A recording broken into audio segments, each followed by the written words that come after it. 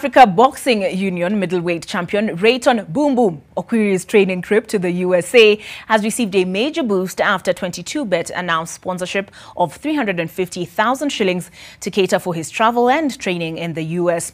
Okwiri is expected to travel to the US where he will hold a training camp before flying back to Nairobi for a planned WBO international title fight against an opponent who is yet to be identified. Okwiri has been training at the historic Pal Pal Gym under head coach David Kiilu, and that is ahead of the crunch tie.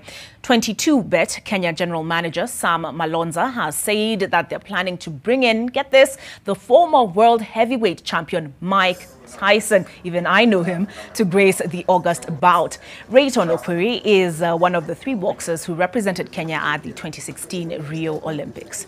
We're also looking to partner with Zarika as well. We're looking to partner with the, the Kenya Professional Boxing uh, Federation for this sort of tournament and support young, budding, amateur and professional um, uh, boxers. ya huko naenda kukutana na good sparring partners ambao ni world class uh, boxers. Manake unajua ile kitu ile challenges pia mimi hapa Kenya ni, kuku, ni kukosa nini? Kukosa good sparring partners. Unapata hapa Kenya maybe kwa gym unapata nakuja napata sparring partner. Unajua spar, sparring partner inafanya mtu anakuchallenge, si ati wewe daily wewe wewe una unampiganga tu kwa ndani, hapana. Inafanya mtu anakupatia leo, hata kesho hata anakupiga, unaona.